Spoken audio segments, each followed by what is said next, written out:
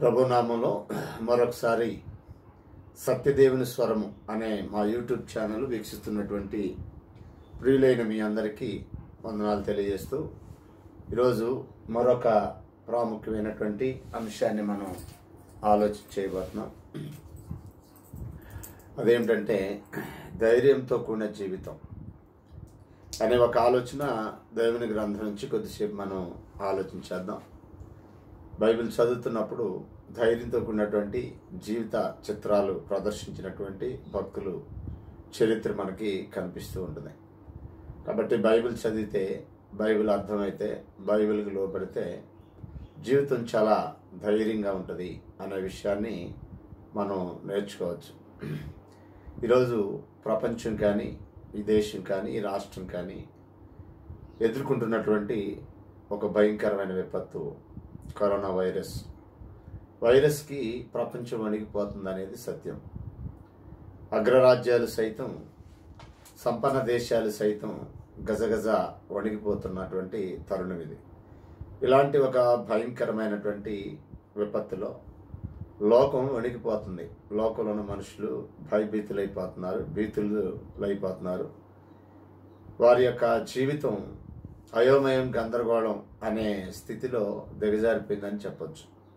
ఇలాంటి ఒక పరిస్థితిలో సత్యదేవుని ఆయ- ఎరిగినటువంటి ప్రజలు ఆయన పంపిన యేసుక్రీస్తుని ఎరిగినటువంటి ప్రజలు ఎలాంటి వ్యక్తులుగా ఈ జీవితాన్ని గడుపుతారనేది మనం ఆలోచన చేస్తే చాలా ధైర్యంగా ఉంటారు. దేనికి కలవరపడరు.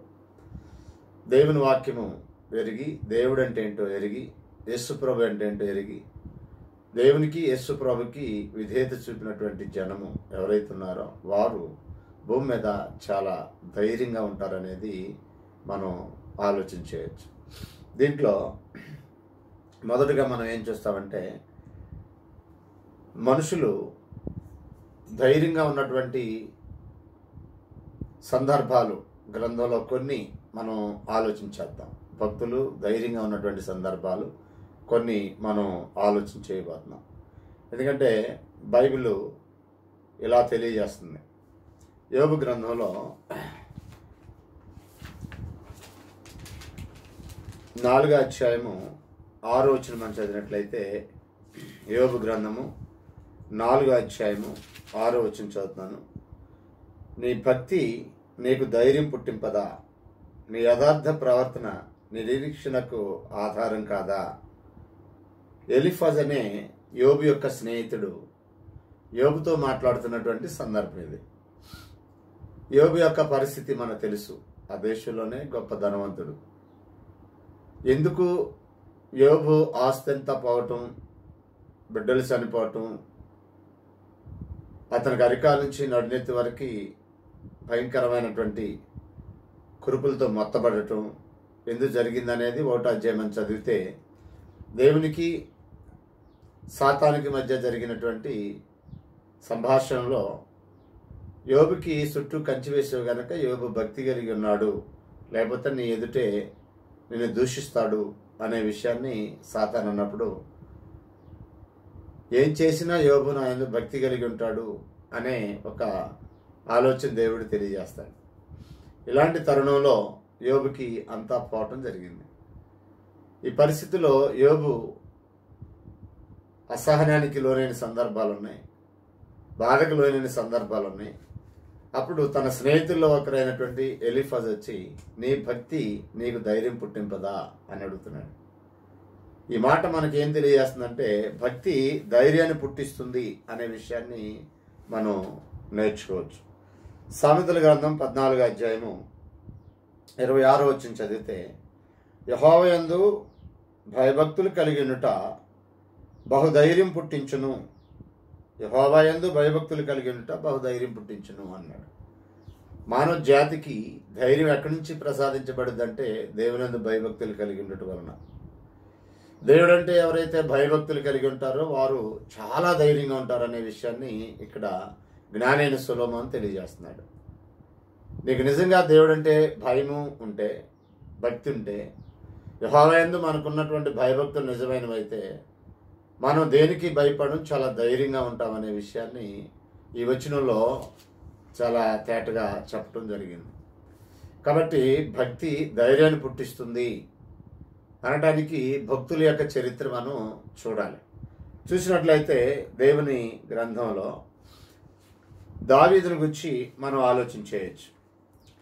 అది ఇస్రాయేలీలందరూ కూడా భయపడుతున్న రోజులు. గొలియాతను ఒక సూర్యుడు నలభై రోజులు ఉదయం సాయంత్రం ఇస్రాయేల్ ప్రజలకి సవాళ్ళు విసురుతున్నటువంటి సందర్భం. సమయలు మొదటి గ్రంథం పదిహేడో అధ్యాయంలో ఈ సందర్భాన్ని మనం చదువుతాం. దాంట్లో సవులు రాజుగా ఉన్నటువంటి దినాలు అవి సైన్యం ఉంది. సవులు కానీ రాజు రాజైన సవులు కానీ సైన్యం కానీ ఎవరు కూడా అడుగులు ముందుకు వేయలేనటువంటి పెరికితనము ఇస్రాయేల్ ప్రజల్లో అలుముకుంది అని చెప్పాలి. సమయాలు రాసినటువంటి మొదటి గ్రంథం పదిహేడో అధ్యాయంలోకి వచ్చేద్దాం మనం. పదిహేడో అధ్యాయము పదో వచ్చిన చదువుతున్నాను చూడండి. సమయాలు రాసిన మొదటి గ్రంథం పదిహేడో అధ్యాయము పదో వచ్చిన చదువుతున్నాను.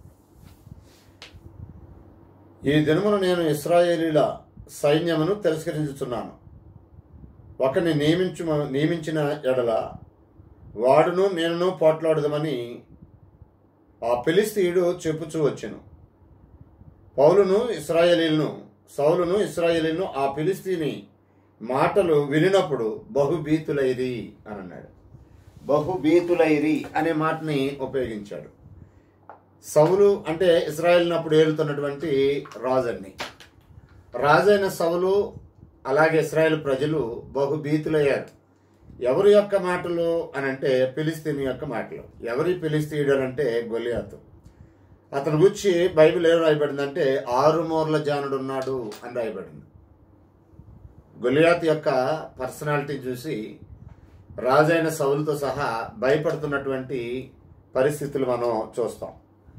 అదే సమయాల గ్రంథంలో పదహారు వచ్చిన కూడా చదువు పదిహేడు అధ్యాయం పదహారు వచ్చిన చదివితే ఆ పిలిస్తీను ఉదయము సాయంత్రమున బయలుదేరుచు నలభై దినములు తను తాను అగపరుచుచూ వచ్చాను. అంటే ఒక రోజు కాదు రెండు రోజులు కాదు నలభై రోజులు సవాలు విసురుతున్నాడు. ఉదయము సాయంత్రము. మీలో ఎవడైనా ఉంటే నా మీద యుద్ధం చేయటానికి వారిని పంపండి. వాడు నేను పోట్లాడతాం. యుద్ధంలో ఎవరు గెలిస్తే వాళ్ళే విజయులు. ఫిలిస్తీన్లు ఇస్రాయిల్ అందరూ యుద్ధం చేయక్కర్లా. ఇస్రాయిల్ పక్షాన్ని నేను ఒక్కడిని వస్తాను. మీలో ఎవడు యుద్ధం చేయడానికి వస్తాడనేది సవాల్ విసురుతున్నాడు. ఆ రోజుల్లో భయంతో భీతిల్లిపోతున్నటువంటి ఇస్రాయేల్ జనము ధైర్యంతో వెర్రవిగుతున్నటువంటి గొలియాత్ అనే సూర్యుడు. ఇలాంటి సిచ్యువేషన్లో ఇరవై నాలుగు నుంచి మనం చదివినట్లయితే ఇక్కడ దావీదు అనే ఒక బాలుడు మనకి తారసపడతాడు. ఒకసారి ఇరవై నాలుగు నుంచి చదుదాం ఇస్రాయిల్ అందరూ ఆ మనుషుని చూసి మిక్కిలి భయపడి వాని ఎదుట నుండి పారిపోగా ఇజ్రాయేల్లో ఒకడు వచ్చుచున్న ఆ మనిషిని చూచితే నిజముగా ఇస్రాయేలీలు తిరస్కరించుటకై వాడు బయలుదేరుచున్నాడు. వారిని చంపిన వానికి రాజు బహు ఐశ్వర్యం కలజేసి తన కుమార్తెనిచ్చి పెళ్ళి చే పెళ్ళి చేసి వాని తండ్రి ఇంటి వారిని ఇస్రాయిల్లో స్వతంత్రులుగా చేయనగా దావీదు జీవం గల దేవుని సైన్యములను తిరస్కరించుట సున్నతి లేని ఈ పిలిస్తీని ఎంత ఎంతటి వాడు? నేను చం వాని నేను వాని చంపి ఇజ్రాయిల్ నుండి ఈ నింద తొలగించిన వానికి బహుమతి ఏమని తన యొద్ద నిలిచిన వారిని అడుగగా అని అన్నాడు. చదవండి వాక్య భాగంలో ఇస్రాయిల్ అందరూ భయపడుతున్నారు కానీ రాజైన దావీదు మాత్రం భయపడలేదు. దావీదు తన అన్నలు ఎలా ఉన్నారో చూడటానికి వచ్చినవాడు. వాస్తవానికి అతను బాలుడు. ఈ బాలుడైనటువంటి దావీదు పరిస్థితులు చూసి వాడిని చంపిన వాడికి రాజు ఏం బహుమానం ప్రకటించాడని అడిగాడు. ఆ బహుమానం ఏంటంటే కుమార్తెను ఇవ్వటం ఇస్రాయిల్లో ఆ వారిని ఆ కుటుంబాన్ని స్వతంత్రులుగా చేయటం వాళ్ళకు ప్రత్యేకమైనటువంటి సముచితమైన స్థానాన్ని ఇస్తాడు అని చెప్పారు. అప్పుడు దావీది యుద్ధం చేయడానికి ముందుకు వస్తాడు. అప్పుడు సౌలు అంటాడు ముప్పై మూడో వచ్చంలో వాడిని ఎదుర్కోవడానికి అతనితో పోట్లాడటకు నీకు శక్తి సాలదు వాడు బాల్యం నుండి యుద్ధాభ్యాసం కలిగిన వాడు నువ్వేం బాలుడివి అని అంటాడు. ఇప్పుడు దావీదు ఏమంటాడంటే యుద్ధము యహోవాదే అంటాడు. నలభై ఏడు వచ్చిన చదివితే యుద్ధము యహోవాదే అంటే యుద్ధం యహోవా చేస్తాడు. నేను గొర్రెలు కాసేటప్పుడు సింహాన్ని చీల్చాను ఎలుగుబంటిని జయించాను. సింహాన్ని ఎలుగుబంటిని జయించడానికి దేవుడు నాకు శక్తిని ప్రసాదించాడు. ఈనాడు ఈ జయించడానికి కూడా దేవుడు నాకు శక్తిని ప్రసాదిస్తాడు అని దావి చెప్తాడు. సో దాంట్లో ఏమర్థమవుతుందంటే మనకి ధైర్యంగా ముందుకు అడుగులు వేశాడు దావీడు అతను వెనుకున్న ధైర్యం ఏంటంటే దేవుడే. గ్రంథం మనం చదివితే భక్తుల్లో మరొక సందర్భాన్ని. ఇజ్రా ద- రెండో గ్రంథం ఇరవై ఆరో అధ్యాయము పదహారు వచ్చి నుంచి ఇరవై వచ్చిన వరకు చదివితే ఉజ్జాన్ ఒక రాజు తాను సంబంధం లేనటువంటి ఒక పనిని చేయడానికి పూనుకుంటాడు. వాస్తవానికి అది అతనికి సంబంధించిన పని కాదు. తనకు సంబంధం లేనటువంటి పని ఏమిటి అని అంటే దూపమేయటం యాజకులు మాత్రమే చేయాలి ఆ పని కానీ విజయ తనది కాని పని చేసి దేవుని కోపం తెప్పిస్తాడు. దేవుని మీద తిరుగుబాటు చేస్తాడు. అప్పుడు రాయబడినటువంటి ఒక సందర్భం ఏంటంటే ధైర్యవంతులైన యాజకులు ఉజ్జయాన్ని ఎదిరించి ఈ స్థలం నుంచి బయటికి వెళ్ళమని ఎదిరించిన సందర్భాన్ని మనం చూస్తాం. అక్కడ రాయబడినటువంటి మాట ఏంటంటే యాజకుల్లో ధైర్యవంతులైన యాజకులు అన్నాడు అంటే ఎందుకు ఆ మాటను వాడాడు? ధైర్యం లేకపోతే రాజును ఎదిరించడం కష్టం. రాజును ఎదిరించాలంటే ధైర్యం కావాలి. కాబట్టి భక్తి ఏం చేసిందంటే దావీదికి ధైర్యం పుట్టించింది. భక్తి ఏం చేసిందంటే యాజకులకి ధైర్యాన్ని పుట్టించింది. దేనికి భయపడరు వాళ్ళు. భక్తులు దేనికి భయపడాల్సినటువంటి అవసరమే లేదు. చాలా ధైర్యంగా ఉంటారు అని మనం గ్రహించవచ్చు. దానియలు గ్రంథం మనం చదివితే దానియలు గ్రంథంలో మూడో అధ్యాయం పదహారు నుంచి ఇరవై ఎనిమిది వచ్చిన వాళ్ళు షడ్రకు మేషకు అభిద్దుగు అని వారు కనిపిస్తారు. శాస్త్రం ఏంటంటే ముప్పై దినాలు ఎవడు ఏ దేవునికి మొక్కకూడదో రాజు నిలబెట్టిన ప్రతిమకే మొక్కాలి. ఇది శాసనం. అప్పుడు షడ్రకు మేషకు అభిద్దుగు అనే యమనస్సులు భక్తులు చక్రవర్తి అయినటువంటి రాజు అయినటువంటి నెపకత్ పేరు పెట్టి నెపకత్ ఇందుని గుర్తి ప్రత్యుత్తరం ఇవ్వడానికి అవసరం లేదు మాకు. సమాధానం చెప్పాల్సిన అవసరం కూడా మాకు లేదు. మా దేవుడు మండుచున్న ఈ వేడిమి గల అగ్ని నుండి తప్పించగలడు. ఒకవేళ ఆయన తప్పించకపోయినా చచ్చిపోవడానికైనా ఇష్టమే కానీ నువ్వు నిలబెట్టిన ప్రతిమకు మాత్రం మరొక్కము అని వాళ్ళు అంటం జరిగింది. దీన్ని బట్టి ఏమర్థం అవుతుందంటే భక్తి చావును కూడా లెక్క చేయదు. చాలా ధైర్యంగా ఉంటుంది అనేది మనకు అర్థమవుతుంది. అలాగే దానియలు గ్రంథం ఆరో అధ్యాయము మొదటి నుంచి పదిహేను వచ్చినాలు చదివితే అక్కడ ఇంకో శాసనం చేయబడింది. ముప్పై రోజులు ఎవరు ఏ దేవుని ప్రార్థన చేయకూడదు అలా చేయబడిన వాడు సింహాల కుక్కలో పడేయబడతాడు అని. దానియేలు ఆ శాసనం జరిగిందని తెలిసి కూడా తన దేవుడైన యెహోవాకి ముమ్మారు ప్రార్థన చేశాడు. దాని ఫలితంగా సింహాల గృహలో పడవేయటం జరిగింది. అయినా సరే దానియలు ధైర్యంగా ముందుకు అడుగులు వేశాడు. దానియేలు యొక్క ధైర్యం ఏంటంటే నేను సింహాల బోలుకి వెళ్ళినా దేవుడు సింహాలను మోయించగలడు అని. ఇలాగా దేవుని వాక్యములో పాత నిబంధన గ్రంథంలో అనేక సందర్భాల్లో ధైర్యం కలిగినటువంటి వ్యక్తులను మనం చూడవచ్చు దానియలు కానీ లేకపోతే ఇంకెవరైనా కానీ ధైర్యం కలిగిన వ్యక్తులు వారి ధైర్యం అనుకున్నటువంటి మూలం ఏంటంటే దేవుడు. దేవుని ఎందు భయభక్తులు కలిగి ఉన్నట్లయితే దేనికి భయపడాల్సినటువంటి అవసరం లేదు. అపోస్తుల కార్యం మనం చదివినప్పుడు ఆది క్రైస్తవులు అపోస్తలు చాలా ధైర్యంగా పనిచేసినట్టుగా మనం చూస్తాం. పేతురు వ్యూహాలు ఒక కుంటివాడిని బాగు చేస్తారు. మత నాయకులకి అది చాలా ఇబ్బందికరంగా మారింది. అందుకు వారు చాలా బెదిరించి వీరిని భయపెట్టాలనే ప్రయత్నం చేశారు. అయితే అపుస్తుల గారు నాలుగు అధ్యాయం పదమూడు నుంచి చదివితే వారు పేతురు యోహాన యొక్క ధైర్యం చూసి ఆశ్చర్యపోయినట్టుగా రాయబడింది. పద్దెనిమిది వచ్చిన చదివితే మేము కన్నవాటిని విన్నవాటిని చెప్పకుండా ఉండలేము. చంపినా పర్వాలేదు మీరు. చౌకానే ఇష్టమే కానీ మేము కన్నవాటిని విన్నవాటిని చెప్పకుండా ఉండలేము అని అన్నారు. అపుసరి గారి ఎనిమిది అధ్యాయం మనం చదివితే సంఘానికి గొప్ప హింస కలిగింది. ఏడు అధ్యాయులు స్తప్పను చంపేశారు. ఎనిమిది అధ్యాయుల సంఘానికి హింస కలిగింది. చెదిరిపోయారు సంఘము. చెదిరిపోయిన వారు స్వార్థ వాక్యం ప్రకటించు సంచారం చేసిరి అని చదువుతాం. ఇలాగా దేవుని వాక్యంలో స్థపన యొక్క ధైర్యం కానీ ఆది క్రైస్తుల యొక్క ధైర్యం కానీ అపోస్తుల యొక్క ధైర్యం కానీ మనం చూడొచ్చు. ఎక్కడి నుంచి వచ్చింది ధైర్యం వీళ్ళకి? ప్రాణాపాయ స్థితిలో కూడా ఎందుకంత ధైర్యంగా ఉన్నారు? ఇవాళ మనం ధైర్యంగా ఉండాల్సినటువంటి అవసరం ఏంటి? అని మనం ఆలోచన చేయగలిగితే కొరిందులకు రాసినటువంటి రెండో పత్రికలో ఒక మాట మనం చదివితే నాలుగో అధ్యాయము పదహారు వచ్చుల్లో మేము అధైర్యపడమని పౌలు అన్నాడు. ఎలయనగా మా మా బాహ్య పురుషుడు కృషించిన ఆంతర్య పురుషుడు దినదినము నూతన పచ్చబడుతున్నాడు మేము దేవుడు యేసుని లేపాడని నమ్ముతున్నాము. అంత మాత్రమే కాదు యేసుని లేపిన దేవుడు మమ్మను కూడా లేపుతాడని నమ్ముతున్నాము. మేము విశ్వసించాము గనక మాట్లాడుచున్నాము. అటు విశ్వాసంతో కూడిన ఆత్మ గలవారమై ప్రవీణ ఈశ్వరం లేపిన వాడు మమ్మను కూడా లేపుతాడని విశ్వసించున్నాము గనక మాట్లాడుతున్నాము కావున మేము అధైర్యపడము అని అన్నాడు. కొరిందులకు రాసిన రెండో పత్రిక నాలుగో అధ్యాయము పదిహేను పద్నా పదహారు పదిహేడు వచ్చినాలు చదివితే ఆ విషయాలు అక్కడ రాయబడి కాబట్టి భక్తులు ధైర్యంగా ఉంటారంటానికి బైబిల్లో ఇంకా అనేక వచనాలు మనం చూడొచ్చు. ఈ ధైర్యం అనుకున్నటువంటి లక్ష్యం ఏంటంటే దేవుని ఎందు భయభక్తులు కలిగి ఉండటం వల్ల మనుషులు ధైర్యంగా ఉంటారు అనేది మొదటిగా చూశాం. రెండో కారణం ఏంటంటే మనుషులు ధైర్యంగా ఉండాలంటే దేవుని ఎందు భయభక్తులు కలిగి ఉండి ఆయన కట్టడలు అనుసరించి నడుచుండాలి అనేది మొదటిదైతే. రెండో విషయం ఏంటంటే యేసును లేపిన దేవుడు మమ్మను కూడా లేపుతాడనే విశ్వాసం ఎవరికైతే ఉంటుందో వారు ధైర్యంగా ఉంటారు. అంటే మరణాంతర జీవితం ఉందని విశ్వసించిన వారు ధైర్యంగా ఉంటారు. మరణం తర్వాత మరో జీవితం ఉందని నమ్మిన వారు ధైర్యంగా ఉంటారు మనిషికి మరణమే ముగింపు.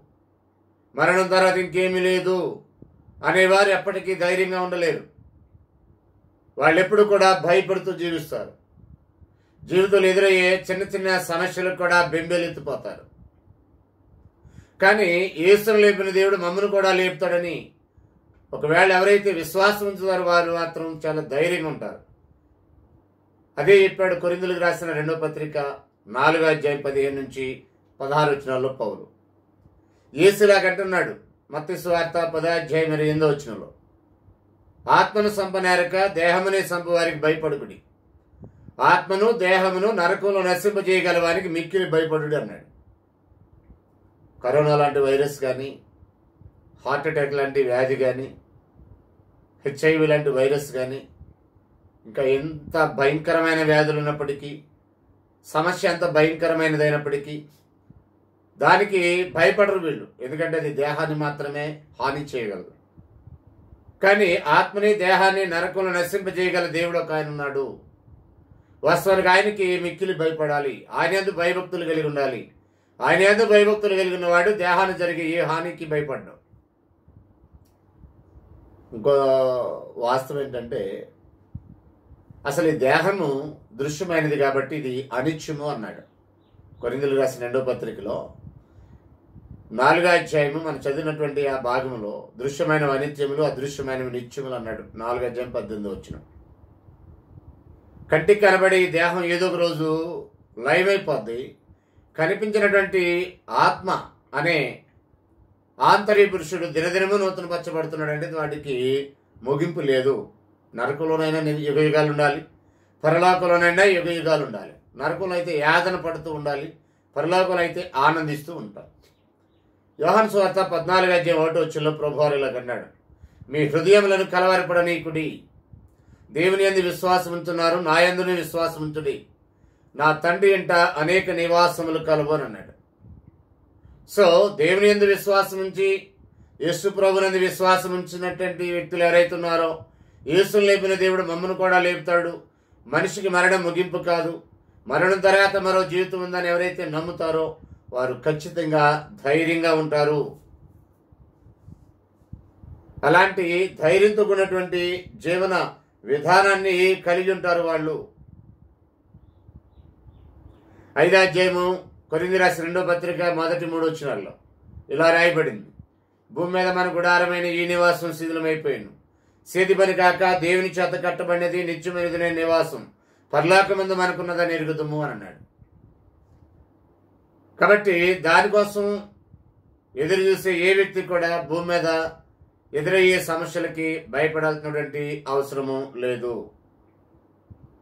ప్రాణగంధం పద్నాలుగు అధ్యాయం పదమూడు వచ్చిన ఇలాగన్నాడు ప్రభునందు మృతులందు మృతులు ధన్యులు అని అన్నాడు. కాబట్టి క్రీస్తు యేసునందు చనిపోవటం అనే ధన్యత కనుక దానికి భయపడాల్సినటువంటి అవసరం లేదు.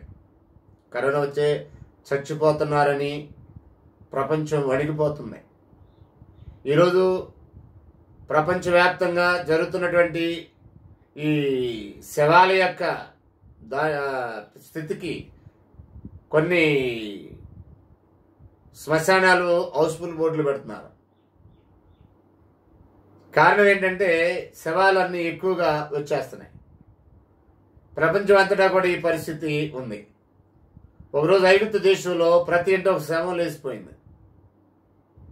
ఆ రోజు ఆకాశానికంటే అంత గొప్ప ఘోష పుట్టింది ఐగుప్తు దేశంలో అని మనం నిర్గమాకాండంలో చదువుతాం.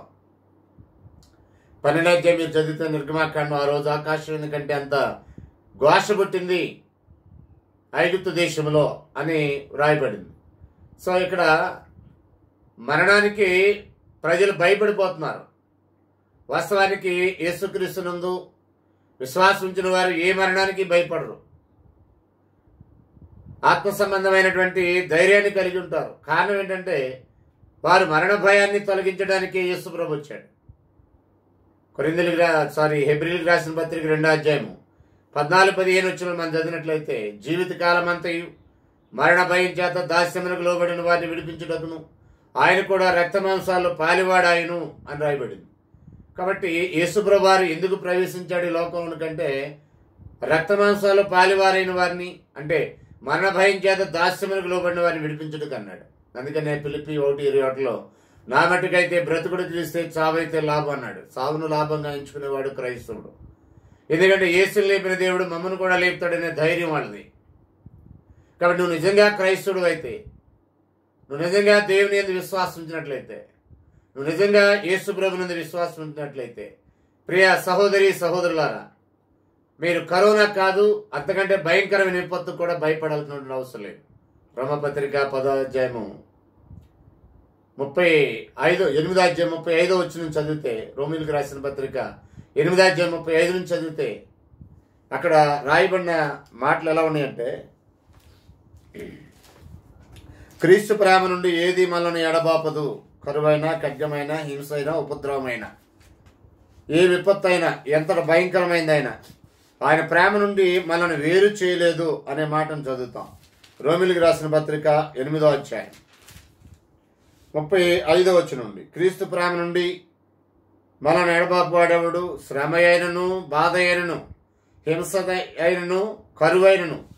వస్త్రహీనతైనను ఉపద్రవమైనను ఖడ్గమైనను మనల్ని ఎడబాపునా శ్రమ గాని బాధ గాని హింస గాని కరువు గాని వస్త్రహీనత గాని ఉపద్రవం గాని ఖడ్గము గాని ఏది కూడా యేసు ప్రభు ప్రేమలోని మిమ్మల్ని ఎడబాపలేవు అని అంటున్నాడు. కారణం ఏంటంటే ఎనిమిది ఇరవై ఎనిమిది వచ్చిన నుండి ముప్పై వచ్చినాల్లో దేవుని ప్రేమించు వారికి అనగా ఆయన సంకల్పం చొప్పున పిలువబడిన వారికి మేలు కలుగుటకే సమస్తము సమకూడి జరుగుతున్నమని ఎరుగుదము అన్నాడు. నిత్యత్వంలో దేవుడు మానవాళి కొరకు సమస్తాన్ని సమకూర్చి జరిగిస్తున్నాడు అని చెప్తున్నాడు. ఏసంటున్నాడు నేను వెళ్ళి మీకు స్థలం సిద్ధపరుస్తాను. మీ హృదయాలు కలవరపడనీయకుండా నా తండ్రి అనేక నివాసాలు ఉన్నవి. నాతో కూడా అక్కడ మీరు ఉండటానికి మిమ్మల్ని తీసుకుని వెళ్ళడానికి నేను వస్తాను అన్నాడు. దర్శనకు రాసిన మొదటి పత్రిక నాలుగు పద్దెనిమిదిలో పౌలు అంటున్నాడు ఆయన వస్తాడు మనం లేస్తాము సదాకాలం ఆయనతో కూడా ఉంటాము అని. కాబట్టి వారు భయపడరు క్రైస్తవులు దేనికి భయపడాల్సినటువంటి అవసరం లేదు. దేహం ఒకవేళ భయపడి ఇప్పుడు కరోనా నుంచి తప్పించుకున్నా ఇంకో పది సంవత్సరాలకైనా ఇరవై సంవత్సరాలకైనా ఏదో ఒక రోజు ఈ దేహం అనేది మరణం రుచి చూడాలి. దేహం నుండి ఆత్మ వేరైపోవాల్సింది ఖచ్చితంగా జరిగేటటువంటి కార్యం అనే సంగతి గుర్తించాలి. ప్రభుతో కూడా ఉంటామనేటటువంటి ఒక బలమైన విశ్వాసం అనుకున్నట్లయితే యేసును లేపిన దేవుడు మనలో కూడా లేపుతాడనే విశ్వాసం అనుకున్నట్లయితే ఖచ్చితంగా మనము ధైర్యంగా ఉంటామనే విషయాన్ని గుర్తుపెట్టుకోవాలి. ఇప్పటివరకు మనం ఏం చూసామంటే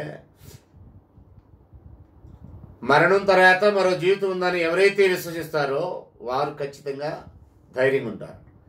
దురదృష్టం ఏంటంటే యేసుని రెండు వేల సంవత్సరాల క్రితం దేవుడు లేపి మరణం తర్వాత మరో జీవితం ఉందని రుజువు చేస్తే ఆయన లేచిన దినాన్ని పునరుద్ధాన పండుగగా జరిపించుకుంటున్నారు తప్ప ఎందుకు దేవుడు లేపాడో యేసుని గ్రహించలేని స్థితిలో క్రైస్తవులు అనబడేవారు అనేక మంది ఉన్నారు. ఈరోజు యేసు పుట్టాడని జన్మ జన్మదిన వేడుక డిసెంబర్ ఇరవై చేస్తున్నారు. క్రిస్మస్ పేరిట.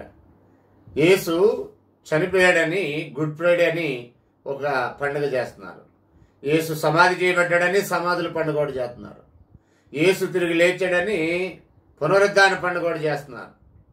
ఇలాగా సావు పుట్టుకి సావుకి సమాధికి లేచిన దానికి పండగలు చేయడానికి అలవాటు పడ్డారు కానీ చాలామంది వాస్తవానికి ఆయన పుట్టుక వెనుకున్నటువంటి రహస్యం ఏంటంటే మరణ భయాన్ని తొలగించడానికి ఆయన పుట్టాడు. ఆయన చనిపోయిన దానికి వాస్తవం ఏంటంటే మానవ జాతిని పాపం నుండి విడుదల చేయడానికి చనిపోయాడు. ఆయన సమాధి చేసేబడిన దానికి రుజువేంటంటే మనుషులు సమాధి నుండి తిరిగి లేపబడతారు. ఆయన పునరుద్ధానానికి రుజువేంటంటే మనుషులు తిరిగి లేపబడతారు అని రుజువు చేయటానికే ఆయన పునరుద్ధానం. అపుస్తుల గారి పదిహేడు ముప్పై ఒకటి ఇలాగన్నాడు ఆ జ్ఞాన కాలంలోని దేవుడు సూచిస్తున్నట్టుగా నేను. ఇప్పుడైతే అంతటా అందరూ మారు మనసు పొందాలని మనుషులకి ఆజ్ఞాపించుచున్నాడు. ఎందుకనగా తాను నియమించిన మనుషుని చేతనగా భూలోకానికి నీతిని అనుసరించి తీర్పు తీర్చడానికి నిర్ణయం చేశాడు. తాను నియమించిన మనుషుని ద్వారా అంటే యేసు ప్రభు ద్వారా భూలోకానికి నీతిని అనుసరించి తీర్పు తెచ్చడానికి నిర్ణయించాడు దేవుడు ఒక దినము. దీన్ని నమ్మటానికి తాను మృతుల్లో నుండి లేపిన యేసుని మృతులను లేపి దీన్ని నమ్మటానికి అందరికి ఆధారం కలగజేశాడు అని అన్నాడు. కాబట్టి అపుస్తుల గారి పదిహేడు ముప్పై ఒకటిలో యేసును లేపి దేవుడు మరణం తర్వాత మరో జీవితం ఉందని రుజువు చేశాడు. దురదృష్టం ఏంటంటే ఈ లోకంలో సమాజానికి మరణాంతరం మరో జీవితం ఉందనే విశ్వాసం లేకపోవటం దురదృష్టం. పుట్టిన ఆయన తిరిగి లేచాడు కనుక పునరుద్ధాన పండుగ చేసుకోవడం అలవాటయ్యారు కానీ ఎందుకు ఆయన పునరుద్ధానుడయ్యాడంటే నువ్వు లేస్తావు. దేవుడు నిన్ను కూడా లేపుతాడు ఒక రోజు నిత్య జీవానికి లేపడతావా నిత్య నరకానికి లేపడతావా తేల్చుకో. అని చెప్పడానికి ఆధారం కలగజేయడానికి యేసుని దేవుడు లేపాడు.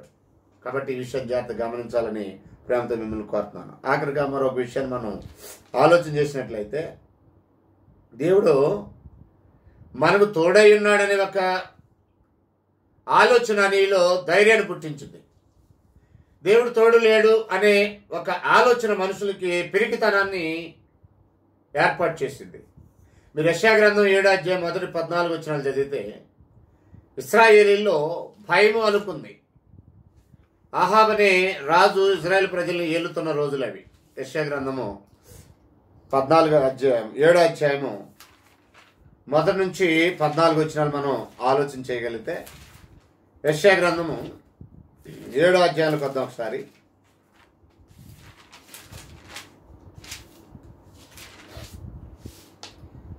యోధారాజైన విజయమనుడును యోతము కుమారుడైన ఆహాజు దినములలో సిరియా రాజు అయినటువంటి రెజిన్ను ఇజ్రాయెల్ రాజును రెమల్య కుమారుడైన పెహాగు యుద్ధం చేయవాలని ఎరుషుల మీదకి వచ్చింది. కానీ అది వారికి వారి వలన కాకపోయాను. అప్పుడు ప్రతి సిరియన్లు ఎఫ్రాయిములు తోడు చేసుకుని కానీ దావిది వంశస్థులకు తెలపగా గాలికి అడవి చెట్టు కదిలినట్టు వారి హృదయము వారి జనుల హృదయము కదిలేను.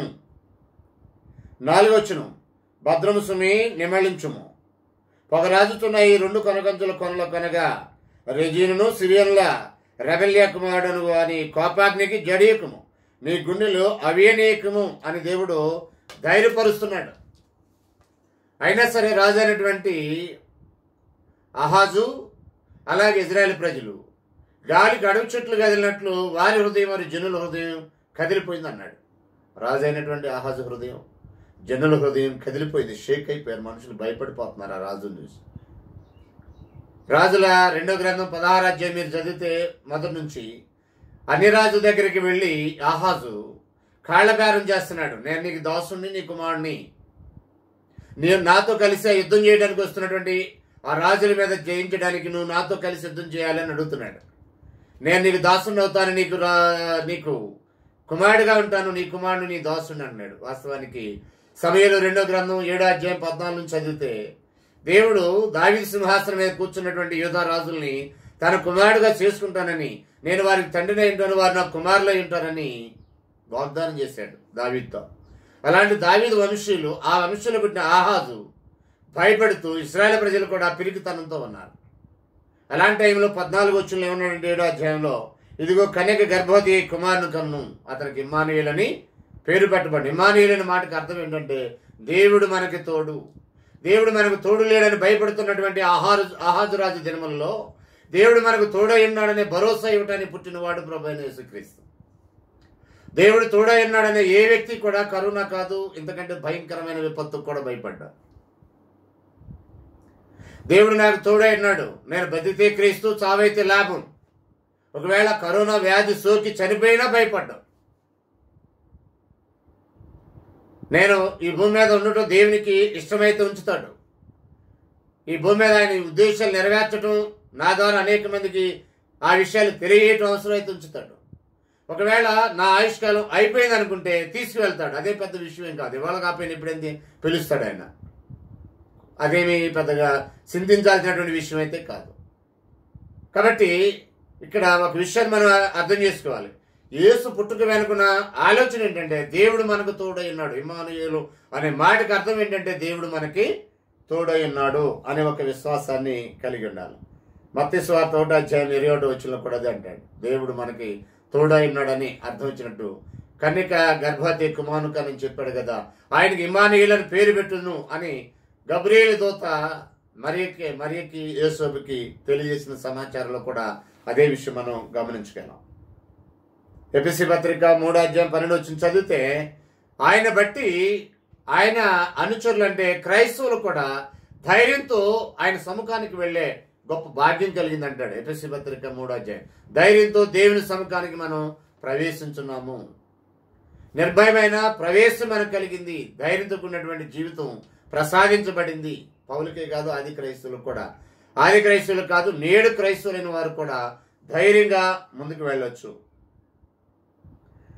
మత్స్వార్త ఎనిమిదో అధ్యాయం పద్దెనిమిది వచ్చిన చదివితే శిష్యులకి ఆయన వెళ్ళే ముందు ఆరోహణ వెళ్ళే ముందు యేసు ప్రభారిలాగా అన్నాడు. మీరు వెళ్ళి సమస్త జనం శిష్యులుగా చేయండి. తండ్రి యొక్క కుమారుని యొక్క పరిశుద్ధాత్మ యొక్క నామలోనికి వారికి బాప్తిసం ఇచ్చు నేను మీకు ఏ సంగతులు ఆజ్ఞాపించుతున్నా వాటి అన్నింటినీ గైకొన్న వాళ్ళని వారికి బోధించండి. ఇదిగో నేను యుగ యుగ సదాకాలము యుగ సమాప్తి వరకు సదాకాలం మీతో కూడా ఉంటానన్నాడు. యేసు మీతో కూడా ఉంటానని వాగ్దానం చేశాడు. అపుస్తుల తొమ్మిదో తొమ్మిది అధ్యాయుల సంఘాన్ని హింసిస్తున్న దినాల్లో సౌలా సౌలా నీవేలా నన్ను హింసించున్నావని సౌలుకు ప్రత్యక్షమై యేసు వారు మాట్లాడుతున్నాడు. నువ్వెవడు ప్రభు అంటే? నువ్వు హింసించుతున్న యేసును అన్నాడు. వాస్తవానికి సౌలు అక్కడ హింసించేది ఆయన సంఘాన్ని. యేసు అంటున్నాడు నీవేలా నన్ను హింసించున్నావు అన్నాడు అపుస్తుల గారి తొమ్మిది అధ్యాయము. మొదటి పది వచ్చినాలు మనం చదివినట్లయితే అక్కడ ఈ విషయాలు రాయబడ్డాయి. అంటే ఆయన హింసించినట్లయితే ఆయన సంఘాన్ని హింసించినట్లయితే ఆయన హింసించినట్టేననే విషయాన్ని గ్రహించాలి. సంఘాన్ని హింసించినట్లయితే యేసుని హింసిస్తున్నాం. యేసును హింసిస్తున్నాడంటే ఆయన పట్టించుకుంటాడు. ఆయన సంఘానికి ఏ శ్రమ వచ్చినా యేసు పట్టించుకుంటాడని చెప్పాడు. సదాకాలం మీకు తోడైంటానన్నాడు శ్రమలోనైనా కరువులోనైనా ఇరుకులోనైనా ఇబ్బందుల్లోనైనా ఆయన ప్రేమ నుండి వేరు చేసే ఏ సంఘటన లేదు. మత్తి ఏడాధ్యాయం ఇరవై నాలుగు నుంచి ఇరవై ఆరు వచ్చిన అన్నాడు. ఈయన మాటలు విని వాటి చొప్పున చేయి ప్రతి వాడు బండ మీద ఇల్లు కట్టుకుని బుద్ధిమంతుని పోలి ఉంటాడు. వాన కురిచెను వరదలు వచ్చెను గాలి విసిరా ఇంటి మీద పడిను ఆ ఇల్లు పునాది బండ మీద వేయబడింది కనుక అది కదల్చబడదని అన్నాడు అంటే అక్కడ ఎదుర్కొనే ఆ తుఫాన్లు ఏమిటంటే జీవితంలో ఎదురయ్యేటటువంటి సమస్యలు. ఆ గాలి తుఫాను ఆ వరద ఏంటంటే వరదలు లాంటి తుఫాన్ లాంటి ఆ గాలి లాంటి దుర్ఘటనలు ఏవైతే ఎదురైతే జీవితంలో వాటికి భయపడరు షేక్ అవ్వరు. ఎందుకంటే ఆయన మాటలు విని వాటి చొప్పున చేసే ప్రతి వాడు కూడా ధైర్యంగా ఉంటాడు. మరణానికి భయపడ్డ క్రైస్తవుడు. ఎందుకంటే ఆయన తోడై ఉన్నాడనే ధైర్యం. దేవుడు తోడై ఉన్నాడనే ధైర్యం. అందుకే అన్నాడు దేవుని ఎందుకు విశ్వాసం ఉంటున్నారు కదా మీ హృదయాలు కలవరపడనీకుడి. నా ఎందుకు కూడా విశ్వాసం ఉంచుడు అన్నాడు. యశాగ్రంథం ఇరవై తొమ్మిది అధ్యాయం ఇరవై ఎనిమిది అధ్యాయం. పదహారు పదిహేడు వచ్చినాల్లో ఇదిగో సీనులో రాత్రి వేసిన వాడినేది అది అది పరిశోధించబడిన రాయి అమూల్యమైన రాయి బహుస్థిరమైన పునాది అయిన మూలరాయి విశ్వసించువాడు కలవరపడడు. ఆయన ఎందు విశ్వాసం ఉంచినవాడు. కలవరపడడు. ఏసునందు విశ్వాసం ఉంచినవాడు. కలవరపడడు. ధైర్యంగా ఉంటాడు. పేతురు రాసిన మధుర పత్రిక రెండో అధ్యాయము ఆరు నుండి ఎనిమిది వచ్చి చదివితే విశ్వాసం ఉంచిన వాడు కలవరపడని యశ ఇరవై ఎనిమిది అధ్యాయులు చెప్పిన మాటని పేతురు కోట్ చేసి మాట్లాడతాడు. కాబట్టి క్రీస్తు సంఘ సభ్యులు దేనికి భయపడరు? భయపడుతున్నారంటే వారు క్రీస్తు సంఘ సభ్యులు కాదు. మరణానికి భయపడేవాడు క్రీస్తు సంఘ సభ్యుడు కాదు. ప్రకృతి విపత్తులకు భయపడేవాడు క్రీస్తు సంఘ సభ్యుడు కాదు. కరోనాకు భయపడేవాడు క్రీస్తు సంఘ సభ్యుడు కాదు. అలాగని మీరు దాని దగ్గరికి వెళ్ళి రాసుకోండి అంటించుకోండి నా ఉద్దేశం కాదు. తీసుకోవాల్సిన జాగ్రత్తలు జాగ్రత్త తీసుకోండి. దాని ఫైనల్గా దానికి భయపడాల్సినటువంటి అవసరం లేదు. కరోనాకే కాదు ఈ లోకంలో దేనికి శరీరం మీద దాడి చేసే దేనికి భయపడాల్సినటువంటి అవసరం ఎందుకంటే భక్తి ధైర్యంగా ఉంచుతుంది. క్రైస్తవుల యొక్క భక్తి ఏంటంటే వారిని ధైర్యంగా ఉంచుతుంది. దావిది యొక్క ధైర్యం ఏంటంటే యహోవాయందు భయభక్తులు కలిగినట్టు. సమయంలో మొదటి గ్రంథం పదిహేడు అధ్యాయం ముప్పై ఏడు వచ్చింది చదివితే అదే ఆయన ధైర్యం. దానిలో మూడు పదిహేడు చదివితే షడ్రక మేషక అబద్ధులు యొక్క ధైర్యం దేవుడు. అలాగే దానియలు గ్రంథం ఆరు ఇరవై రెండు చదివితే దానియల యొక్క ధైర్యం దేవుడు. అపుస్తుల గారు ఇరవై ఆరు అధ్యాయం పదహారు నుంచి పద్దెనిమిది వచ్చిన చదివితే నేను నీకు తోడుగా ఉంటాను నువ్వు ధైర్యంగా ముందుకు వెళ్ళాను అన్నాడు. పౌలుని సువార్థికుడిగా అపాయింట్ చేసినప్పుడు అపోస్తుడిగా అపాయింట్ చేసినప్పుడు.